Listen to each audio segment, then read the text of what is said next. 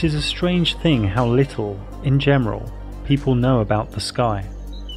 It is the part of creation in which nature has done more for the sake of pleasing man, more for the sole and evident purpose of talking to him and teaching him, than in any other of her works, and it is just the part in which we least attend to her. John Ruskin. In this offering, I will share reality, perception, wonder, archetype, and hopefully a sprinkle of wisdom regarding the sky luminaries. Many are looking to the horizon, to the shape, to computer screens, to other land, to mental models, but not many are looking up at what is actually real and observable. Most notable in the luminaries mysterium is what we call the Sun, an epic and enigmatic source of real cycles, real energy, and real wonder. There is nothing new under the sun. Truth is singular and eternal. The sun is a focal point of life giving heat and light. Only a fool states they know what it is.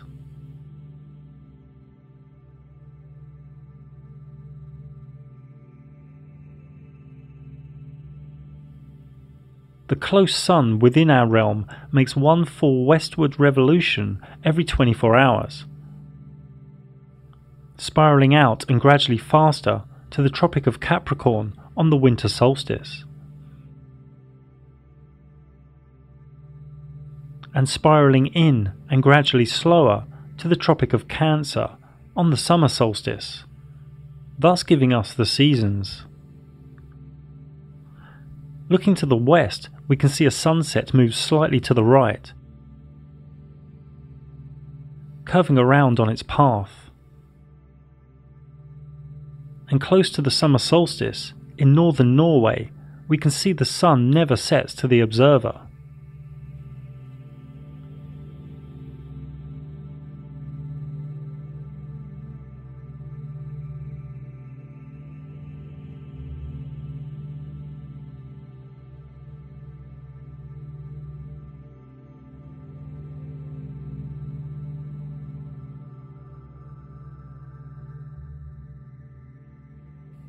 Here is another way to view the summer solstice.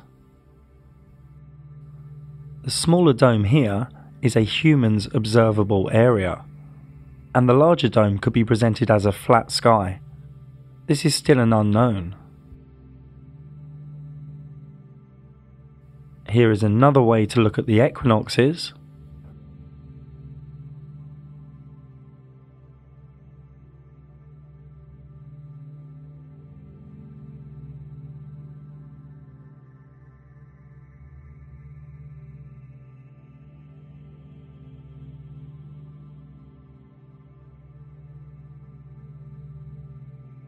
From Tenerife in June, the top is what the human eye observes, and below is what is really going on.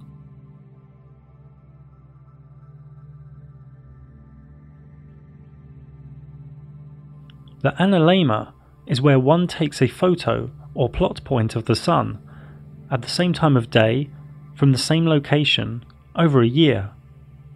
This is from Hong Kong in the Northern Hemisphere, and there is a bigger loop for when the Sun is in the Southern Hemisphere, because the Sun covers more distance there in its orbit. This clearly shows that the orbit of the Sun expands and contracts.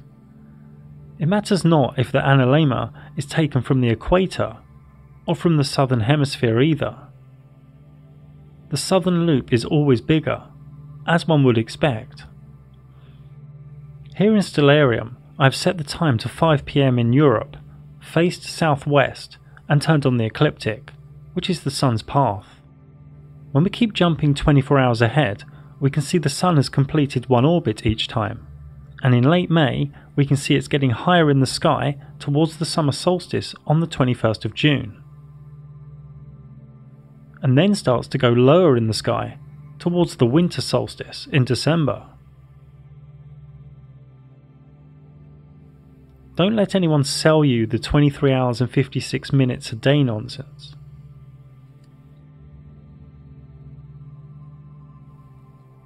In real life, as it shows in Stellarium, we can see only a section of the night sky. When we move, our vanishing point also moves with us. And therefore, what we can see in the sky moves with us too. We know the sky appears to the eye as a dome, but this could be due to perspective. I mean, here it looks like the ground goes up and that the tracks go together, when we know these aren't true. The human eye's vanishing point shows us a visual reality that is not always objective. We simply have not unravelled the flat sky or dome mystery yet. This is all new.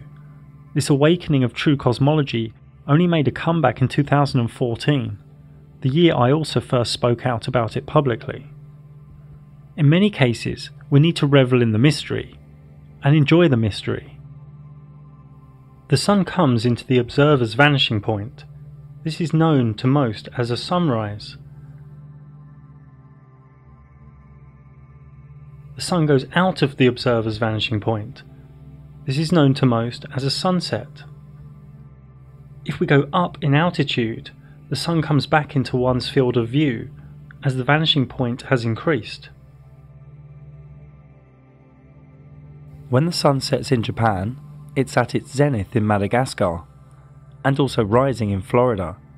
Some ballpark trigonometry shows the sun is around 2,000 to 4,000 miles away.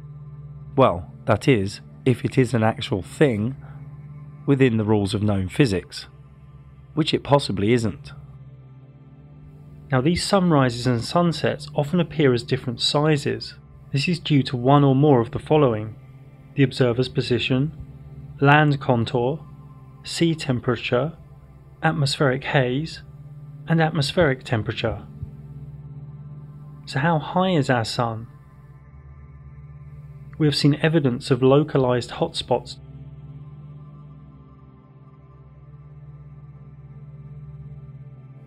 This blue sky layer is around 15 kilometers thick.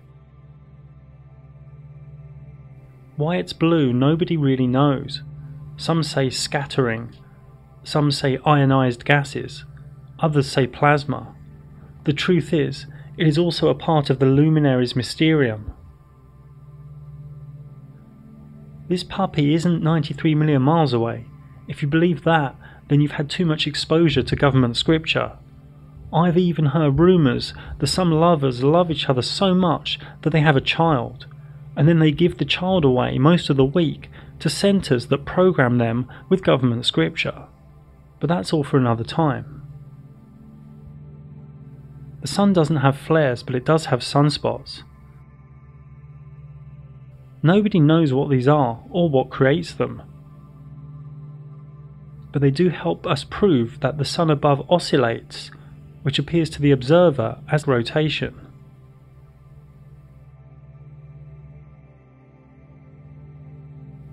The actual light of the sun does many wondrous and irrational things, near impossible to work out logically.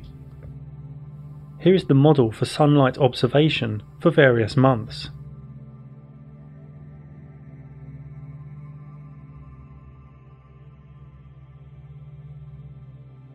Actual sunlight at any one time is never the same for two different observers. Sunlight has evidence of curve, bend, bulge, mystery, beauty, and wonder. The reasons are unknown, and that makes so many uncomfortable.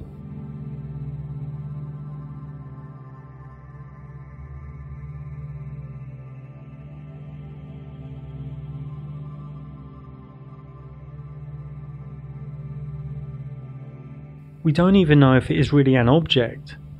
We do know it is a focal point of light and heat. For me, it is probably intelligent consciousness in some way, maybe half in this reality and half in another. It could just be far beyond our comprehension altogether, a reflective or geometric masterpiece of spiritual consciousness, a luminary of the mysterium. The sun has been worshipped and measured for aeons. The Aztec sunstone calendar marks our present world as the fifth sun to them. The Aztecs saw themselves as the people of the sun, whose divine duty was to sacrifice blood to provide the sun with its nourishment. In India, the Konark Temple of the Sun in Orissa from at least 2000 BC has complex and intricate sundials. These 24 wheels use complex and detailed shading and measures a magnitude of different units of time and cycles, mostly from sunlight. All around the world there are symbols for the sun, and temples aligned to the sun, marking the solstice and equinox. Astrologically, the sun represents one's basic personality, ego, and outward vitality. It rules the star constellation of Leo. There are many sun gods all around the world, from Egypt to India, and to the current Jesus archetype in Christianity. Now, much of Christianity is about the sky luminaries, known as astrotheology. Jesus is the Son of God, the sun that travels through the 12 zodiac signs. 12 disciples he travels around with, 12 brothers of Joseph, 12 tribes of Israel. The Last Supper painting by the alchemist Da Vinci shows all the zodiac signs having the Last Supper of the year before the crucifixion of the Sun in November. After the kiss of death by Scorpio, Judas. The birth of Jesus on the 25th of December is when the sun rises from its lowest point of the year. The sun is born. Now, these stories you can find in other sun deities that are much older than Jesus. The Roman Emperor Constantine, pretty much the founder of Christianity, was a sun worshipper, even after he gave Christianity to the masses in the early 4th century. He also changed the day of worship from the Sabbath to Sunday. The sun was a big part of the secret recipe for the Hermetic alchemists for the creation of the Philosopher's Stone. And it sits at the centre of the Kabbalistic tree of life. In the Srimad Bhagavatam, it states in 11.22.31 Sight, visible form, and the reflected image of the sun within the aperture of the eye all work together to reveal one another. But the original sun standing in the sky is self manifested. Similarly, the Supreme Soul, the original cause of all entities, who is thus separate from all of them, acts by the illumination of his own transcendental experience. As the ultimate source of manifestation of all mutually manifesting objects. Democritus, in BC, said a quote that will help us as we continue through the other luminaries. It will be apparent that it is difficult to discern which properties each thing possesses in reality. The moon is the other large luminary in the sky. It has always been an enigma. It has always been worshipped, and its energy through its mystical phases affect much life in this reality. A mystic once said, Look at the moon in the sky, not the one in the lake. Another said, Moonlight drowns out all but the brightest stars. A Taoist author once said, The moon does not fight, it attacks no one, it does not worry, it does not try to crush others. It keeps its course, but by its very nature, it gently influences.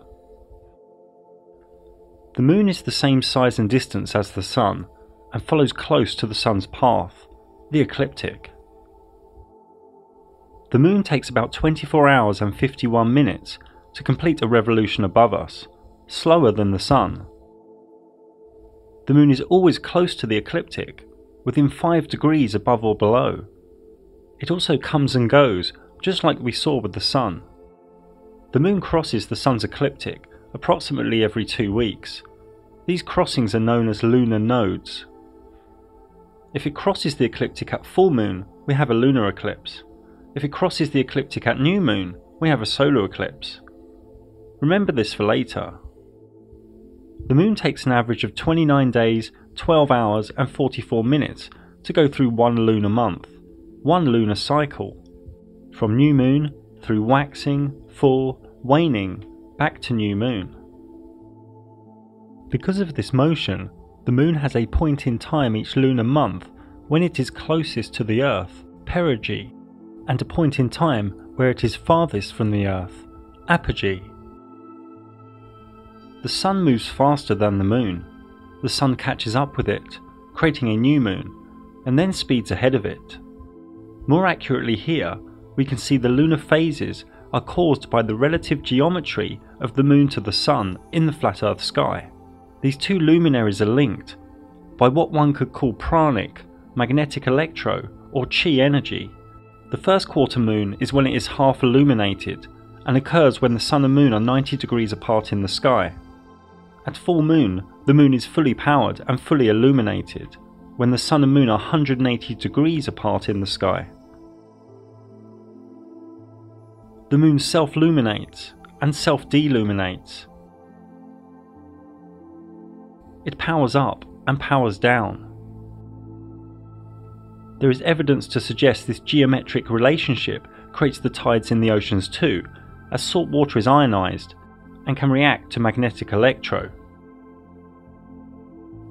Another way of talking about the motion of these luminaries is to say the moon travels 14.5 degrees an hour and the sun 15 degrees an hour. So the moon loses 12 degrees a day on the sun. People are okay that the sun is self luminating, so people should also be okay that the moon is self luminating too. A nice way to remember if the moon is waxing or waning is if it is like a letter C or D. A cat goes, waning, and a dog comes, waxing. These phases can be known far into the future due to the sun and moon's constant speeds. This works as a geometric clockwork, a calendar in the sky, so to speak. Chinese, Thai, Hindu, Islam, and Hebrew calendars still today are linked to the moon cycles, the lunar month. If one photographs the moon 51 minutes later on successive days, note due to the moon rising about 51 minutes later each day, over one lunar month it will trace out its own analemma. The moon can be seen above in the sky at the same time in distant places. Depending on where one is on a line of longitude, depends on what degree of rotation the moon will be. To a stationary observer, the moon also appears to rotate as it moves from east to west in the sky. This is only due to perspective. The moon is not actually rotating. It will appear to rotate one way until it is above one's head, and then the other way. Regardless of location, every human on Earth has only ever seen one face of the moon. Therefore, it is rational that it appears to many human subconscious and conscious mind as spherical. In a waning phase, the closer the Sun gets to the Moon, the more power, or self illumination, the Moon loses. And when the Sun is very close to the Moon, it loses its power, it loses its self illumination. The Moon disappears. Some say we should really see a black silhouette. We don't though, we see nothing, and can pick up nothing with cameras or telescopes. It's just not there. This new moon really could be just that, a brand new moon, and we will layer up on this information later. Then a few days after new moon, at the waxing crescent phase, one can see the slither become illuminated, and the moon starts gaining its power again. Even at other times during the lunar cycle, we can very rarely see something appear to go through the moon, and in this footage, it is unknown if this is a star wandering star, or high altitude drone. At other times, the moon appears as though the blue sky is coming through the moon, but the moon is higher than the layer of blue sky. So is the moon semi-transparent here? Is the moon not totally there in these instances? When the moon is half illuminated, is the other half there or not? Again, the Luminaries Mysterium has not given us a clear and rational answer as yet. We don't know. We have to continue to revel in the mystery. We don't know what the moon is.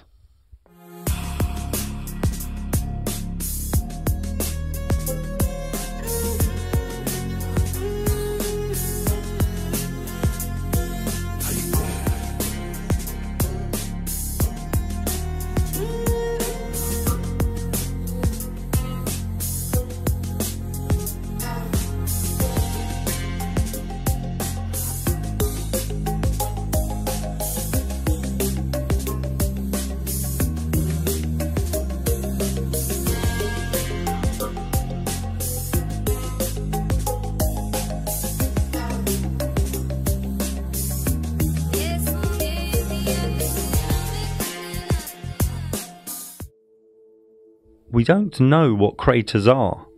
In truth, they are just different shades of light and dark. Worth noting, though, that in the electric universe community, laboratory experiments using electric arcs by plasma physicist C.J. Ransom created craters. Is the mainstream story for the 22 degree halos another wild myth? It's almost as if the moon and sun are piercing into this reality or piercing into a layer in our sky. Both look like spheres to our subconscious, but simply this cannot be so. The moon gives us energy for sure, but whether it is a projection, an actual object, or even an old malfunctioning sun, we don't know. The word eclipse comes from a Greek word meaning abandonment. Quite literally, an eclipse was seen as the sun on a solar eclipse and moon on a lunar eclipse abandoning Earth. The lunar eclipse is only possible exactly on a full moon, when the sun and moon are directly opposite, and also when the moon is at the crossing point of the ecliptic, at the lunar node when h1 and h2 in the image are at the same altitude. This is all akin to a super tight and accurate astrological aspect of opposition.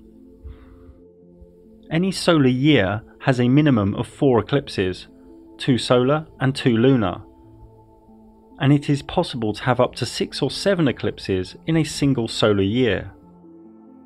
The moon is full, fully charged, and then it loses power preparing energy, retracting. Then it sparks, surges, pulses. The moon becomes reddish as it continues its potent energetic link with the sun. A pranic or magnetic electro handshake with the sun. Blinking, flickering. It seems to be a reset of sorts, or more wildly, a malfunction or false kickstart of an old sun trying to recharge itself, and then it regains power. The lunar eclipses are seen where it is night time, and over a massive land space with the same intensity. They last for a few hours, much longer than the minutes of a solar eclipse. The changing colour during a lunar eclipse is seen simultaneously by people in different continents. And because of this, the obstruction theory from old Vedic myth is impossible. The theory that it is obstructed by another celestial body, such as Rahu, Ketu, Shadow Planet, Mount Meru, Black Sun, or Lilith, is easily debunked, as it would only be visible in a small location. You see, with this lunar eclipse, any obstructing body would be huge, many times bigger than the Moon, the solar eclipse has caused fear and been associated with myth, legend, and superstition throughout history. Even today, an eclipse of the sun is considered a bad omen in many cultures. Esoterically and astrologically, I would say never make a big life decision near or on an eclipse, only unless you really know what you are doing with bringing the energy down and harnessing it. Predicting eclipses has been going on for millennia too, as early as 600 BC by Thales. Saros astrology can predict eclipses, and this goes back to Chaldean and Babylonian astronomers. A solar eclipse is only possible exactly on a new moon, when the sun and moon are directly together, and also when the moon is at the crossing point of the ecliptic, at the lunar node, when h1 and h2 in the image are at the same altitude. This is all akin to a super tight and accurate astrological aspect of conjunction. Now, many strange humans think there is 93 million miles between these two luminaries, and one is 400 times bigger. this is where the moon is. It cannot be anywhere else. But as we saw earlier, the moon is transparent, stroke disappeared, at this time. We believe the moon is passing over the sun. It should be. But looking at these filtered images, nothing is there. It matters not what one does with telescope or imagery software, one cannot find a trace of the moon. It is as though the sun eats itself. It's really important you understand the moon is not there. Then you might wake up to the magic and mysticism of this realm we are in. Totality during a full solar eclipse can only be seen from a very small area on Earth. This area is usually about 100 miles or 160 kilometers wide, and about 10,000 miles or 16,000 kilometers long. Areas outside this track may be able to see a partial eclipse of the Sun. This thin strip is pure flat Earth truth, as a shadow is never smaller than the object casting it. Many think the Vedic dark luminary of Rahu covers the Sun. Rahu, the god of darkness, the black sun, the shadow planet. This cannot be true as the total solar eclipse lasts for only a few minutes at any given place. Objectively, all we know is the sun appears to eat itself due to the pranic handshake. A resetting, a new sun cycle, a refreshed sun. The Vedic myths of Rahu and Ketu are simply archetypes of the lunar nodes, and their myths are spoke of at length in my free moon ebook. There are three types of solar eclipse partial, annular, and total. The difference between a total and annular eclipse helps to confirm that the moon moves closer and farther from us, perigee and apogee. I wrote a thesis in the moon book about whether the moon could be an old malfunctioning sun. Let go of old notions and listen to the logic. The moon is the same size and altitude as the sun. The moon travels in almost the same trajectory as the sun. The moon is a little slower than the sun. The moon's power and charge is directly linked by its geometry to the sun. Both affect plants and animals, and all life on Earth. Both have evidence of being magnetic electro in their nature. There are many ancient myths as to which sun we are in.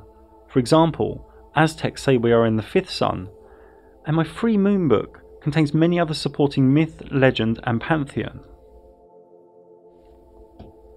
The moon is awash with mystique, myth, superstition, and esoterica. The new moon is like a start of a wave, the start of new intentions. The full moon is like the crashing of the wave, and the waning moon is like the decay of a wave retreating. A healthy woman in her power has her menstrual cycle during or near full moon or new moon. It is more beneficial esoterically to fast or cleanse the days before a new moon.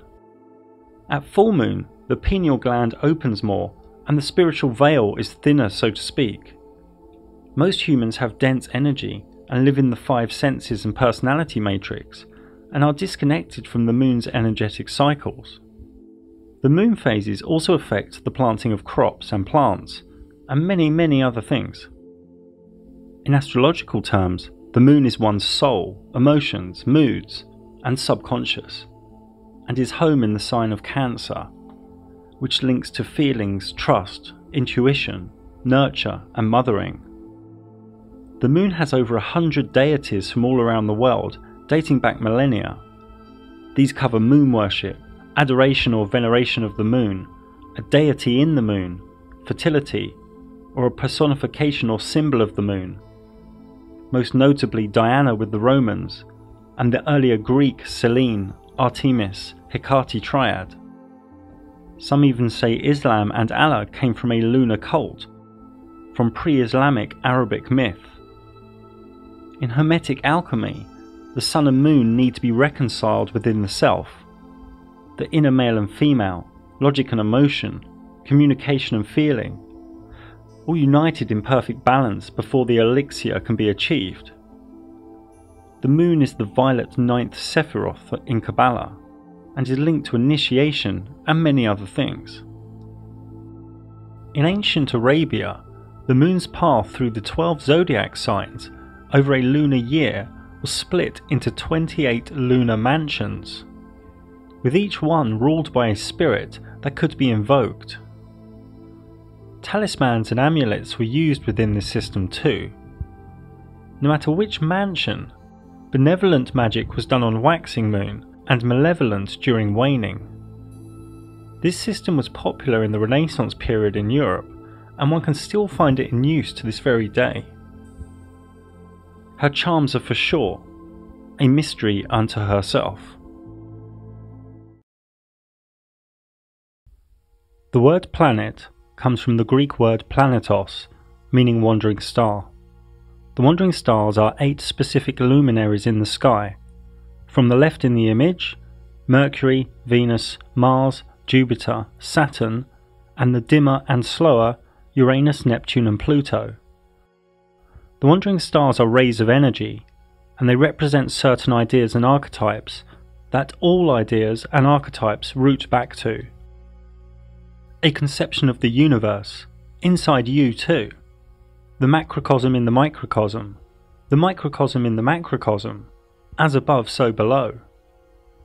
Each of the wandering stars are linked to certain symbols, myth, and deity, as we will soon see.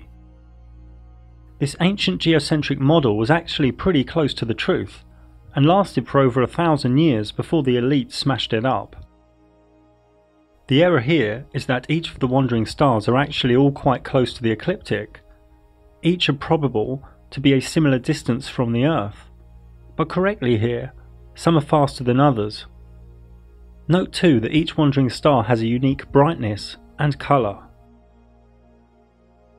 Another crude way to aesthetically show the wandering stars is here, all close to the ecliptic. Note though that the speeds here are not correct. Each of the wandering stars has its own retrograde motion. Retrograde is a term used to describe the phenomenon of each wandering star stopping and then reversing direction in the flat earth sky, before continuing forwards again. A famous aesthetic depiction of the wandering stars was from the model from Ptolemy, who died in 160 AD. His model, mocked today by the masses, was actually quite close to what is. This model is close, but each wandering star is actually close to the ecliptic, less of a distance between them. Therefore these bigger circles and orbits and gaps are not correct. Also it is not certain if the retrograde motions are doing a loop in altitude, or simply going into retrograde at the same altitude. I cannot repeat enough that each wandering star has a unique motion stroke cycle that is independent from all other sky luminaries. These motions, no matter how they are depicted, always present harmonic geometry. We will go into this a little more later. One could do hours on each of the wandering stars. I aim to share a few minutes regarding each of their motions, characteristics, and archetypal energy, the core force of prana from each. Mercury comes from the Latin of miércoles. It has an English translation meaning Wednesday. Mercury rules Wednesdays. Mercury is not what the elite wants you to think it is a rotating spherical rock 50 million miles away, has mind controlled the masses. The adjectives that come to my mind are divine, geometric, fractal, interdimensional, and conscious. Mercury always travels close to the Sun, and due to this, it is the most difficult to see with the naked eye. Here I've turned off sunlight stroke daylight so we can move forward 24 hours a click and see its motion forwards, retrograde, then back to the same point again. Its repeating cycle taking 88 days to complete. If we look at any astrological chart depiction, all luminaries revolve around the flat earth in the middle, all close together at the ecliptic. The moon may be appearing to move quickly here, but it's actually going slower than the sun, so it falls behind every 24 hours. Mercury stays close to the sun, passing it, then retrograding behind it. Does Mercury orbit the sun? Is this a loop, like Ptolemy thought? We don't really know for sure, but it is probable at least sometimes due to Mercury sometimes not passing behind the Sun, but passing in front of the Sun 13 or 14 times per century, known as the Mercury transit. Now, one needs special filters to witness this, and it helps prove just how small the wandering stars are. The next Mercury transit is in November 2019, then in 2032. This event lasts about 6 hours or so. So usually Mercury passes behind the Sun, or does it do something similar to the Moon and disappear when close to the Sun? Who's to say it hasn't disappeared when in front, and the black circle is due to some magnetic electro or pranic handshake, akin to a solar eclipse? It is said that Mercury has phases, just like the Moon, a long 88 day cycle to complete the phases. This graphic is crude. I'm again not saying it loops, and this could be drawn as a straight line or an ellipse or a circle, but it shows, like the moon, the side closest to the sun is self-luminated. That the 26% phase on the left is bigger than the 51% phase next to it. If these images are trustworthy, this would suggest a looping higher in altitude during retrograde. Mercury astrologically signifies mind, learning, communication, thoughts, logic, reason, and knowledge. It rules the constellation of Virgo, Earth, the energy of intellectualism, rationale, and practicality, the orderly and helpful ray of service that overconforms. It also rules the constellation of Gemini, Air, the energy of information, intelligence, change, talking, being social, spontaneous, fickleness, and indecision. Mercury retrograde is feared more than other retrogrades of other wandering stars. In retrograde, the power and force of the ray of energy is weakened. It's gone back on itself. In Mercury retrograde, electrics can play up, communication and contracts can be delayed or have misunderstandings. It's a time to back up, re look at things, and not to start big new projects, sign new contracts, or to buy new electrical goods, properties, or vehicles. The most notable deities and archetypes linked to Mercury were the Roman god of wealth, word, and commerce. Also Hermes, the Greek god of alchemy, born from Thoth, the Egyptian god of writing, knowledge, and the Emerald Tablet. In Kabbalah, it is the eighth Sephiroth, and linked to many other things. Venus is from the Latin word viernes, meaning Friday. Venus is far from what your local gatekeeper school science teacher thinks.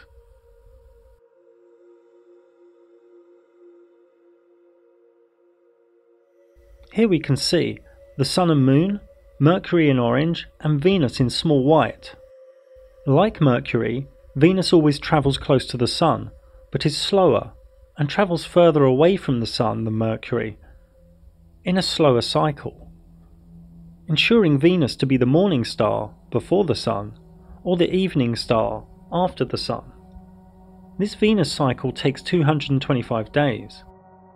To the naked eye, Venus doesn't appear to twinkle, but instead glows with a bright and steady silvery light, making her the second brightest light in the night sky, after the Moon. Out of the wandering stars, it is only Venus and Mercury that have phases, so Venus also appears to get smaller and bigger. So again, it either has an apogee and perigee, or it simply gets smaller and bigger where it is, at the same altitude.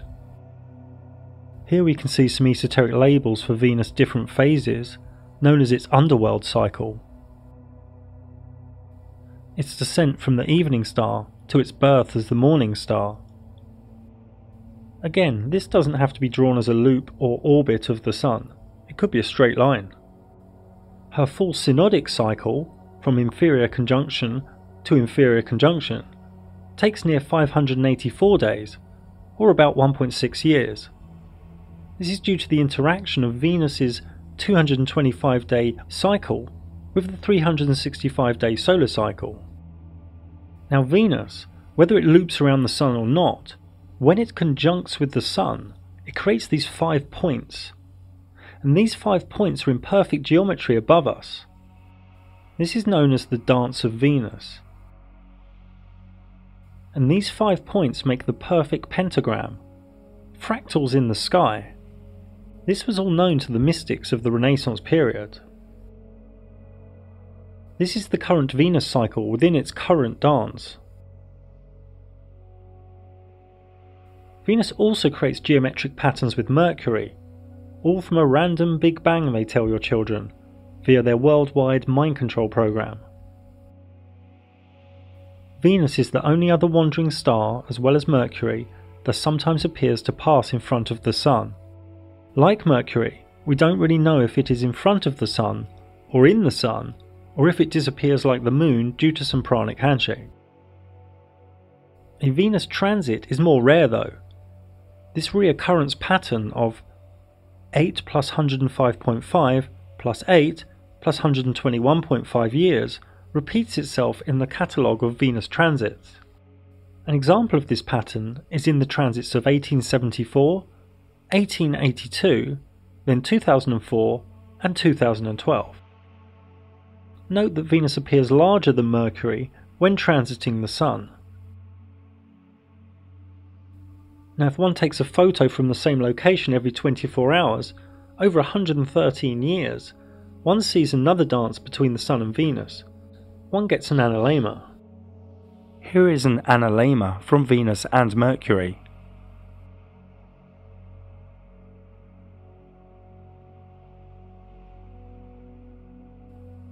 It can be argued that both orbit the Sun.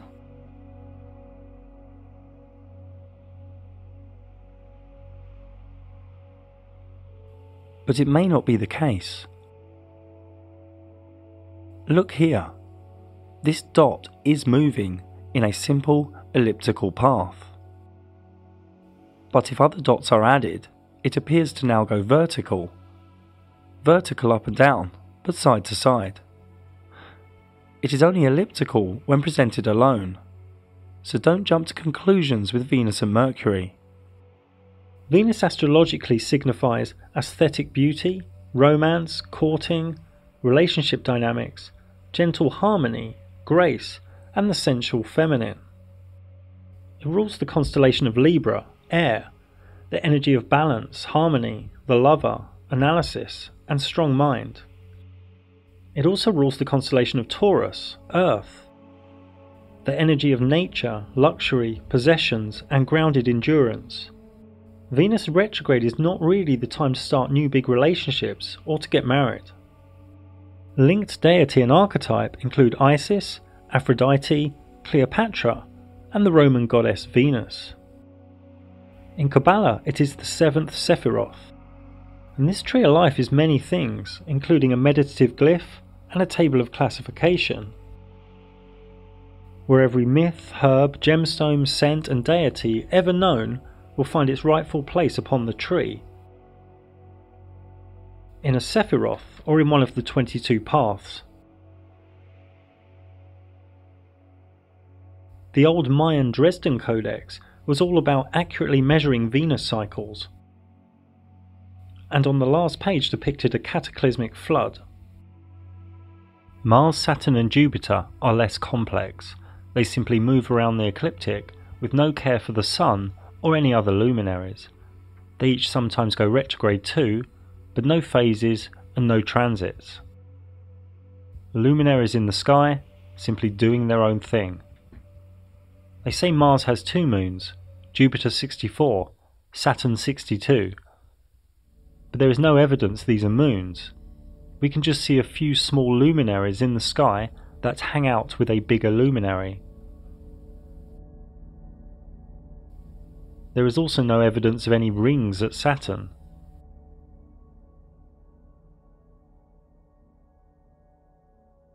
This animation you should understand more now. Venus, Mars, Saturn and Jupiter have been added and are moving 72 hours a click. Mars takes 687 days to complete its cycle. Jupiter takes 12 years, and Saturn takes 29 years. If you don't understand this animation fully, don't worry, we will layer up more later. Again, due to their retrograde motions, many geometric patterns can be found between these wandering stars. Mars rules Scorpio and Aries and is the energy of the daring warrior, strength, action, destruction, the male principle. It's linked to gods of war. Jupiter rules Sagittarius and Pisces. It is the energy of expansion, journeys, faith, wealth, mercy, and fortune, and is linked to deities of justice and kings. Saturn rules Capricorn and Aquarius. It is the energy of restriction, limiting, discipline, solitude, structure. It is linked to deities that reap. Many people freak out due to the archetype of Saturn that eats children. This is really just to show that it is slow and returns when one is no longer a child. But for sure, the current elite do like to munch on a child sandwich when they get together. In Kabbalah, Mars is the fifth, Jupiter the fourth, and Saturn the third Sephiroth.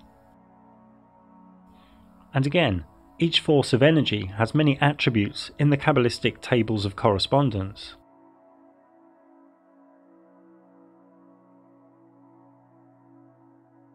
I'm old school and don't really care too much for Uranus, Neptune, or Pluto. They are so dim and slow, and they were only discovered in recent centuries.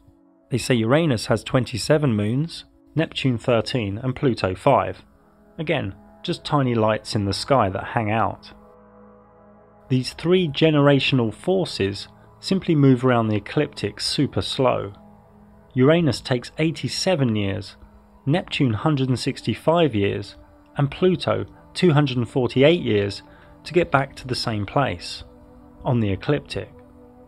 To complete their cycle, to get back to the same place on the ecliptic. They are known in the matrix as outer planets, but in reality they are simply dimmer and slower and there is no evidence they are further away. Due to points of retrograde over tens of thousands of years, Uranus and Neptune will do their own geometric dance. Uranus is the energy of rebellious change, freedom, revolution, and awakening. Neptune, the energy of dreams, mystic awareness, and idealism. Pluto, the energy of subconscious forces, death and rebirth, power, obsession, and truth. There is a whole host of geometry in the sky when looking at various combinations of wandering stars. But no evidence of spheres, rocks, gas giants, light years, or any other of the government fairy tales. The wandering stars are each magnificent and radiant forces of energy that contain the human psyche and our subconscious archetypes. The wandering stars have many tables of classification and attributes.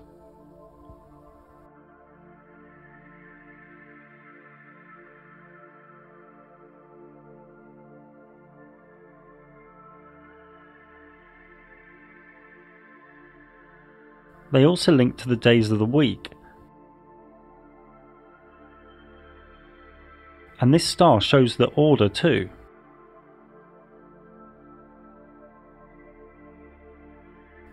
Now, in the time of alchemy, Greek mystics, and then the Renaissance period, many mystics created art of what is known as the celestial spheres.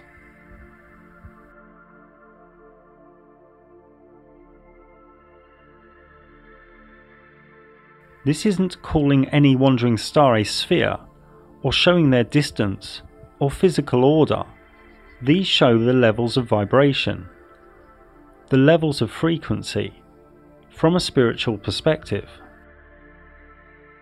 They always take the order Earth, Moon, Mercury, Venus, Sun, Mars, Jupiter, Saturn, the firmament of fixed stars, then into the world of divinity, the Primum Mobile.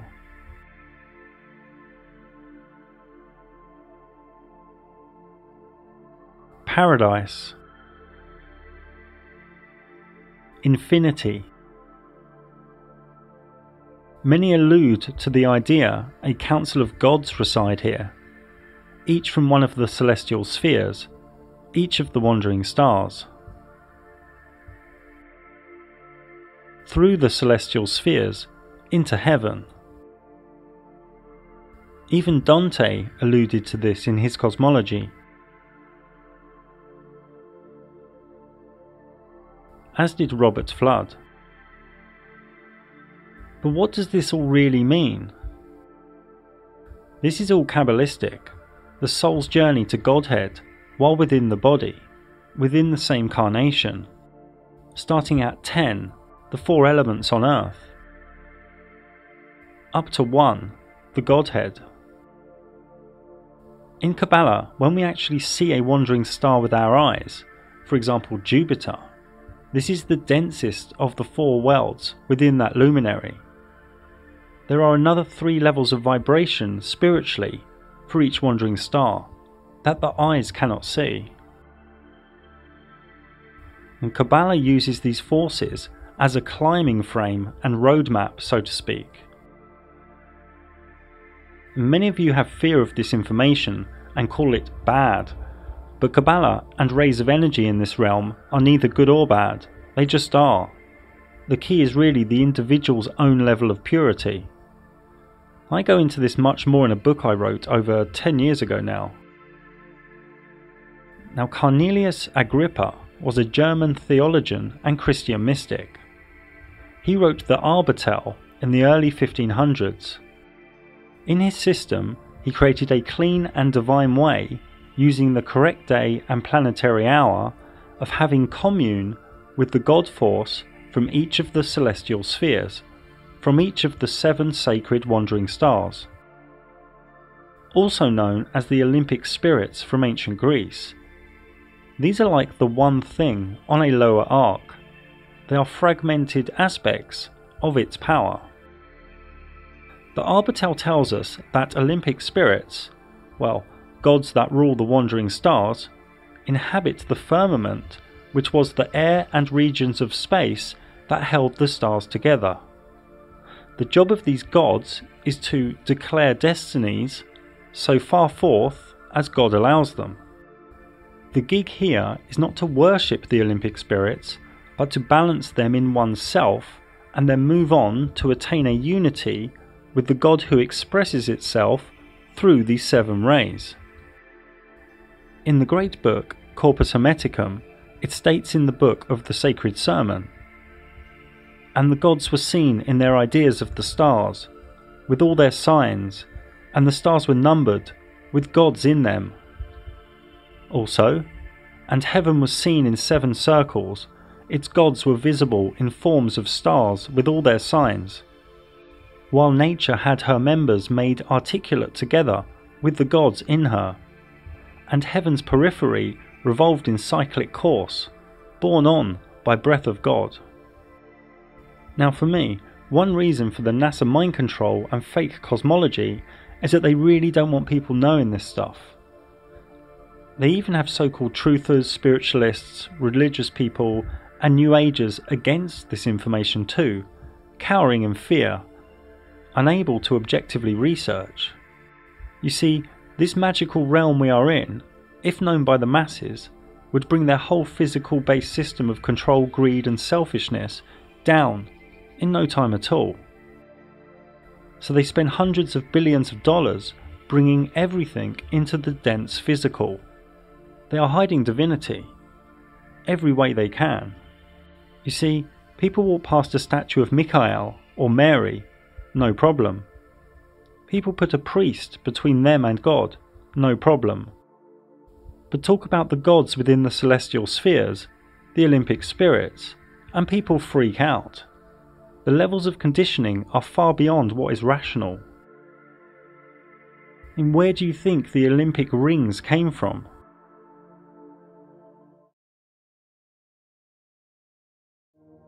The blanket of fixed stars all move in unison, as one, with next to no evidence of any parallax.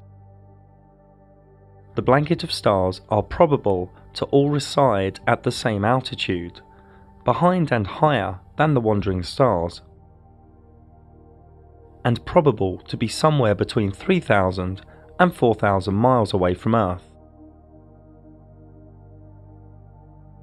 There are under 10,000 stars visible to the naked human eye, and because of the human eye's vanishing point, one can only see less than half of those from where one stands. Before we look at the blanket of stars' speed, motions, patterns, and mystery, Let us look closely at what they could be. What are the stars? We don't have the correct labels in our vocabulary.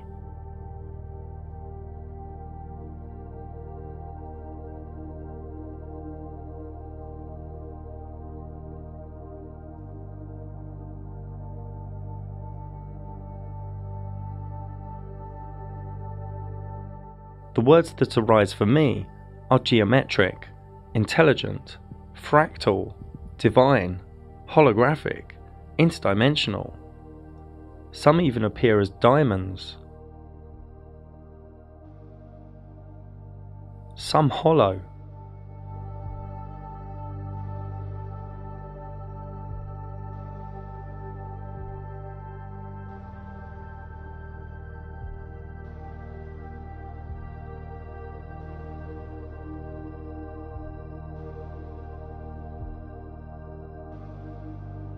Is water involved? Is sonoluminescence involved, where high frequency sound waves in liquid cause a bubble to implode into light? Are cymatics involved?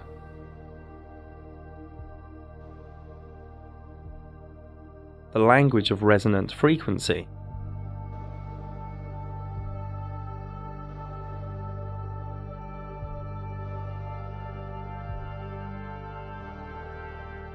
Some even think stars in this reality are technical and related to these metal balls that are said to fall to Earth. If one zooms past a star and then increases the brightness, it can appear to the eye like the star is indented into the firmament. This is 160 times zoom, at sunset, with clear visibility. We just don't know the luminary's mysterium cloaks its secrets from us.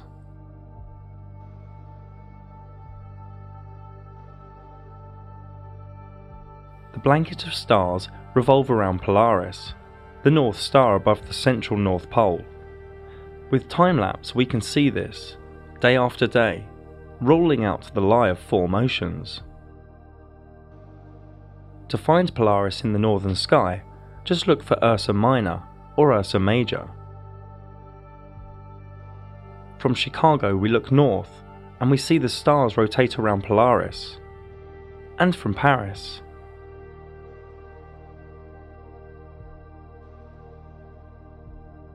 And from near Japan.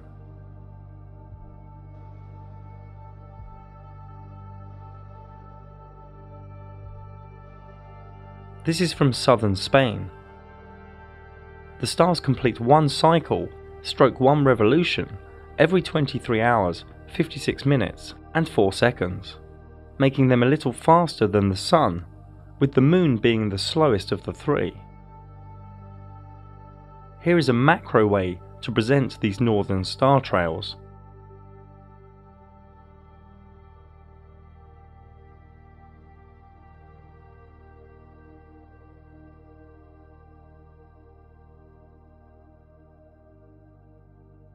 To get a good idea of the motion of stars, we need to look in different directions. Here is from Arizona, in southern USA, looking west,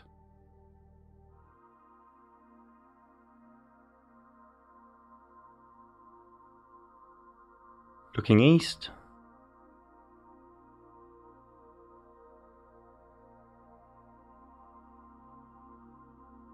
looking north,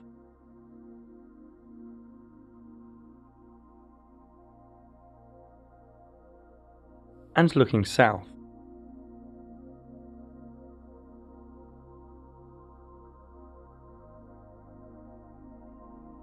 There is a ring of 12 star constellations behind the ecliptic, known as the signs of the zodiac. This is the same even if one is in Chicago, North Mexico,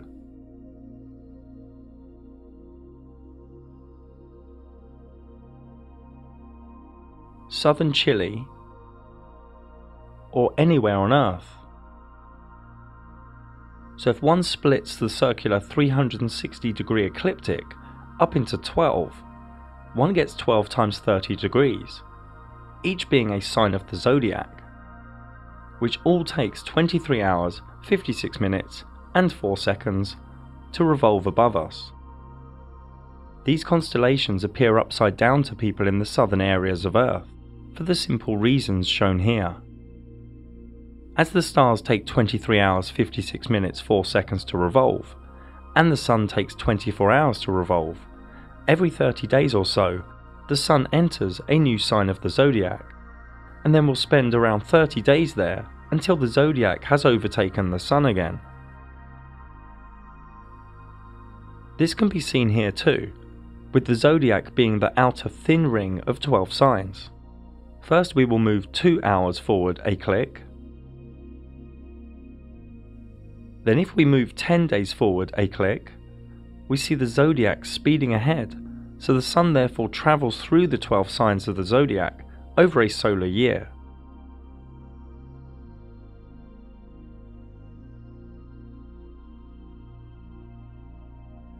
Due to us knowing all of the main speeds in the sky now, here is the approximate time each luminary spends within each of the 12 signs of the zodiac. We will come back to the zodiac again soon. Many naturally think, whether under a dome or a flat sky, that all the stars move in unison the same way, but this isn't so. South of the equator, an observer can see a wheel in the sky to the south, spinning in the opposite direction. And here are more examples.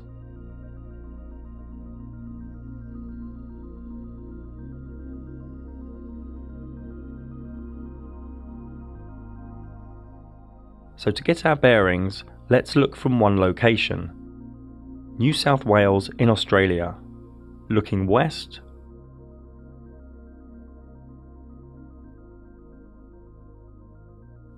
Looking east,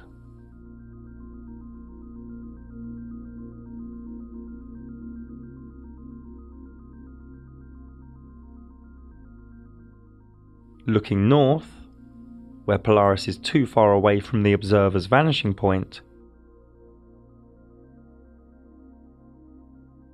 and looking south.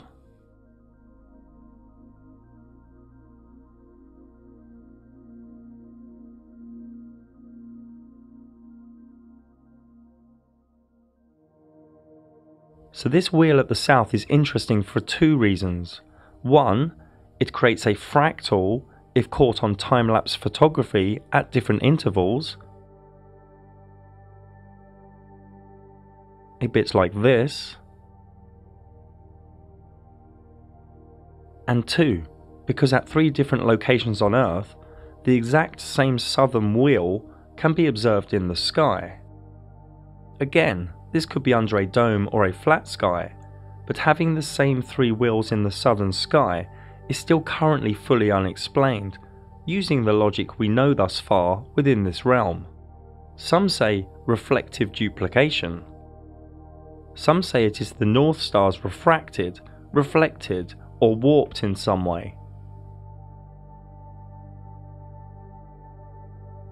Others say perspective, but super interesting and relevant is that this southern wheel also takes 23 hours, 56 minutes, and 4 seconds to revolve. We just don't know all the answers to the luminaries' mysterium. The precession of the equinox is a real phenomena. Over 26,000 years, the whole blanket of stars completes a tiny wobble ensuring that the exact point above the north celestial pole moves in a small, super slow circle. This is all known as the Great Year. If we go as north as possible on Earth and look up with the equatorial grid on, Polaris is at the centre. Now if we turn the azimuthal grid on, we can see Polaris off centre. And if we change the year by 2000 year chunks, the whole blanket of stars moves ever so slightly. The Earth isn't moving or tilting or wobbling, it's the blanket of stars moving.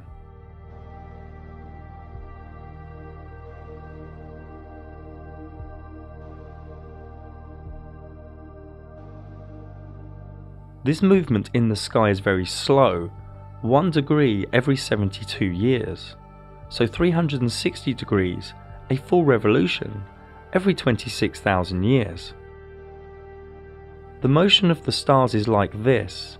The zodiac signs move in one direction on the ecliptic, but the wobble is in reverse, hence the words precession of the equinox. So recently, from the age of Taurus through to Aries, through to the current age of Pisces, and soon into the age of Aquarius. On every spring equinox, the sunrise to the east has the current age behind it, and we are coming out of Pisces into Aquarius. And due to the 1 degree wobble every 72 years, every 2160 years or so, humanity enters a new age. Here is the equinox sunrise for the year 4178, deep into the age of Aquarius.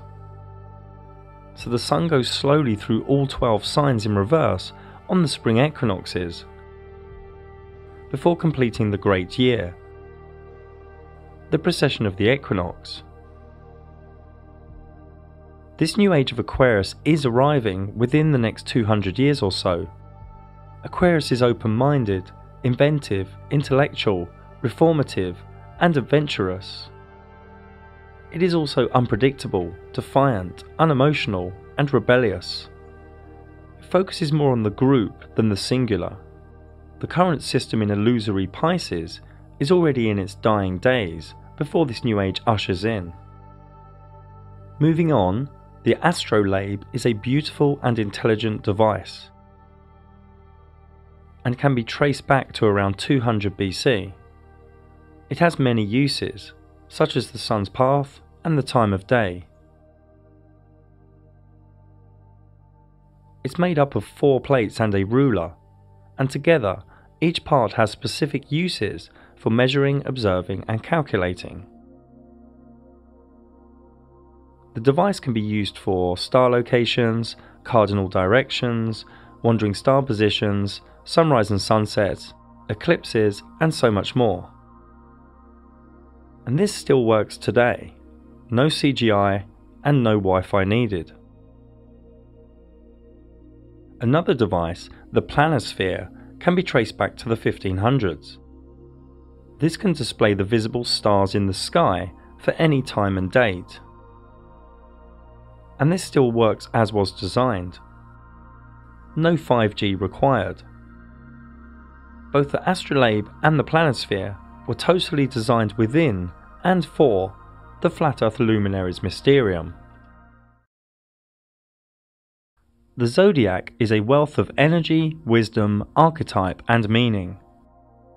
Nobody knows who first grouped the 12 constellations on the ecliptic, but it is ancient, received from a higher state of consciousness, pre flood for sure. Each sign has been anthropomorphized as figures, animals, and archetypes. Each sign has been studied and wondered over by mystics, astrologers, healers, and artists. The zodiac splits up the 12 months, 4 seasons, solstices, and equinoxes. Each star in the sky gives us energy, and why would you not believe that? The luminaries of the sun, moon, and wandering stars give us energy, and each star also gives us energy. Therefore, groups and clusters of stars also give us energy as collectives. Each sign has its own energy signature, its own archetypes. The sign motivates any wandering star within it and asks the wandering star what is it seeking. Each zodiac sign is within one of four elements, one of three quadruplicities, and also a gender. As we already know, The wandering stars travel through the signs at different speeds and durations, and each sign has a ruling wandering star and also a wandering star that, when within it, is in its exaltation, detriment, or fall.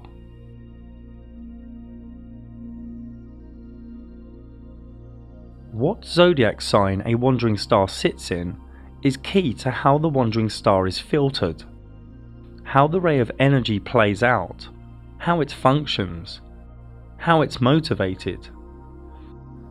And each combination of wandering star and sign is vastly different. You should understand most of these symbols now. Think of each wandering star as a function of the psyche within all human beings. Think of each zodiac sign as the location of what the particular psyche function is seeking, how and where it will play out.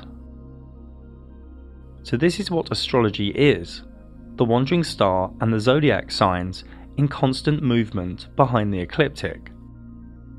And their infinite amount of combinations allow for luminology stroke astrology to be achieved, recorded, projected, and practiced. This is a repeatable science. Edgar Cayce once said, The signs of the zodiac are karmic patterns, the wandering stars are the looms, the will is the weaver. The aspects are some specific geometry between the wandering stars on the circular ecliptic. Each human has a unique personal astrology chart for the moment he or she was born, a natal chart, or soul blueprint. This natal chart holds one's talents, challenges, emotional and communication dynamics, evolution, and much more within it. The energies of the 12 signs are already within each human being, but each human being has a different balance of them, with amplifications and gaps. The evolutional quest is to be a perfect balance of all 12, all radiating in their best octave. Remember, all 12 signs and all the wandering stars each have a specific energy. When an energy is too amplified or overpowered, it spills into shadow traits. Each of the energies can also be latent, weak, or underpowered in one's chart. The natal chart really yields gnosis on the self. Each day, the different permutations of geometric aspects in the sky and the combinations of energies in the sky all create flux in this reality. It gets human dynamic and interaction in this reality moving and changing. If one overlays one's natal chart with today's sky chart, or tomorrow's, or next week's, or any date or time in the future, one can see what energies are at play and navigate that moment, or that hour, or that day whether it be a meeting or a wedding or a new project. And the elite really don't want you to know this stuff. But Wall Street, governments, and the military all use this science of the sky. Remember, astrology is not something to live underneath or fear. It is a tool. We all have free will and can each swerve, dark, or ride any coming energies. The sky is the engine room of this reality. Astrology is a finger pointing at reality. Now, Western mystics studied astrology deeply and knew how to understand and interpret the sky. How to bring the macrocosm down to the microcosm in a multitude of ways.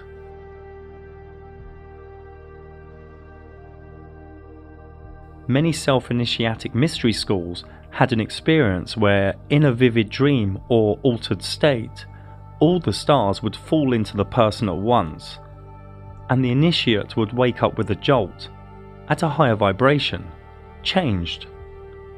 You may think this is folly, but this is real. The zodiac signs are also related to the tarot, the major arcana. And each third of each sign is assigned to a minor arcana. Both are shown here. The profane think tarot is just for divination, but the tarot energies are forever present through the sky, through time fitting like a glove to the energies of luminology. It might be wise to ask yourself why astrology is not taught at colleges or universities. I have had over a hundred flat earth astrology clients, and for a deeper look into the changes flat earth brings, plus more about signs, aspects, orbs, and houses, please see my dedicated video on this same channel.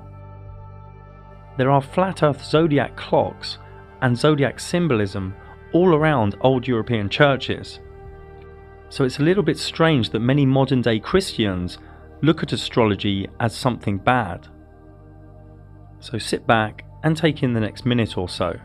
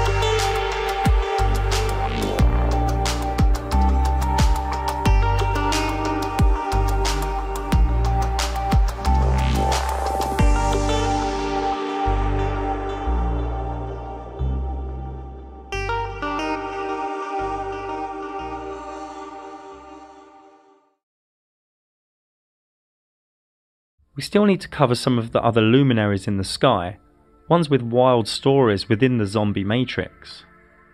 The idea of galaxies is deranged, just a luminary of cloudiness in the sky. This is what they call Andromeda. The idea of a black hole is idiotic, just a luminary that pulses in the sky. The idea of nebulas is demented just shaped light in the sky. The elite tell you it is an interstellar cloud of dust, hydrogen, helium, and other ionized gases. That the Orion Nebula is 1,300 light years away and 12 light years in radius. I mean, tell a tall story or what? I mean, this elite are smart, but also very psychotic. This is the Heart and Soul Nebula. A comet is simply a cyclic luminary in the sky with its own cyclic path, with no care for the ecliptic.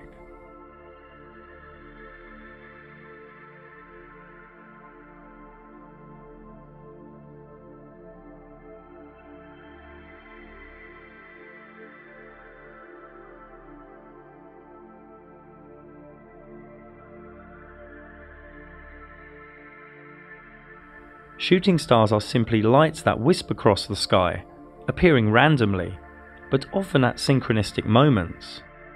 These are not meteorites. There is no evidence of these so called meteorites ever landing on Earth. If these were real, every month or so a house or a building would be destroyed.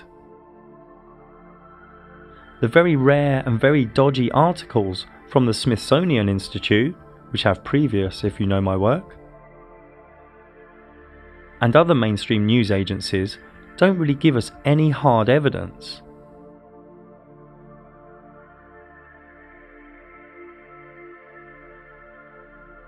These scorched rocks do exist though, but obviously they do not come from the fairy tale that is outer space. This is supposed to be the biggest meteorite on Earth. No crater nearby, no witnesses. Now, to diverse just a little bit, giant craters probably were created from sinkholes or from some ancient technology. We don't really know. But we do know that a lump of rock didn't land and then just vaporize on impact. And we know that a fireball making a big dent in the ground isn't really rational. More on the cover up of meteorites and craters is in my Edge documentary. Now, meteor showers are just cyclic, wispy luminaries that come in groups. The Perseids shower every August is the brightest. The dense and cloudy area of stars in the sky is known as the Milky Way. This is not really what this was called. This was called the Great Rift, or the Dark Rift, by different people all around the world. I did a whole documentary exploring some of the ancient myths and knowledge surrounding this area of the sky luminaries. Feel free to check it out. The northern lights are highly probable to come out of the north centre. We don't know what they are, but they must be linked to magnetic electro and stroke or divinity. The light pillar phenomena occurs rarely and randomly where it is cold. The story of ice and optics doesn't work for me. Going full cult scientism on divine beauty is fool's work. The sky is a giant calendar. The sun tells the time, the moon tells us the day, and the stars tell us the months and years. We live inside a beautiful realm, a perfectly designed timepiece with mathematics and fractals within its fabric. The sky is the only real tangible calendar. What else is there to live by? The toxic Gregorian calendar the Catholics fed you? Dates your boss tells you? Days of celebration your governments tell you? Or is it wiser to live by the energies and events in the sky, the dance of the luminaries, the art of astrology, which is happening above your head, and you don't give it a moment's thought because you've been conditioned not to care, or wonder, or contemplate. This realm is divine, it is created by higher consciousness, a higher power. The luminary's dance of geometry allows the one thing to weave energy into this dimension. Through rays of energy, a subtle and gentle communication to our minds and souls, forever changing the permutations, creating a foundation of flux for this realm we are in, a realm of divine fractals hidden from our consciousness, so beautiful yet so subtle. The elite hide the truth of the luminaries as they are trying to limit the whole human experience to the physical the physical is only a base, it's not the real thing. They want you pushed into the Sephiroth of Malkut, as a materialistic conforming drone. But we are both visible and invisible.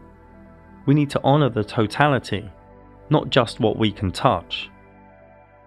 Da Vinci said there are three types of people those who see, those who see when shown, and those that don't see and one starts to see only when one starts deprogramming. And it's not an easy ride, but it does get easier. This is the work of the modern day warriors, deprogramming. We don't know our cosmology, but we do know we are in a magical realm of divinity. Are you just coming from the mind to know the sky, or are you reveling in the energies and the invisible wonders of the Luminaries Mysterium? The Luminaries Mysterium is a key out of the Matrix, out of the cult like scientism religion, but you have to embrace the sky's truth. Love the sky, a beautiful gift from our Creator. Many of you are trying to rationalize a divine mysterium, and one's life here is full of questions, but only fools are full of answers. Srimad Bhagavatam 2637 and because all of us are bewildered by the illusory external energy of the Supreme Lord, we can see only this manifested cosmos according to our individual ability. Corpus Hermeticum, the secret sermon on the mountain. For I will sing the praise of him who founded all, who fixed the earth and hung up heaven.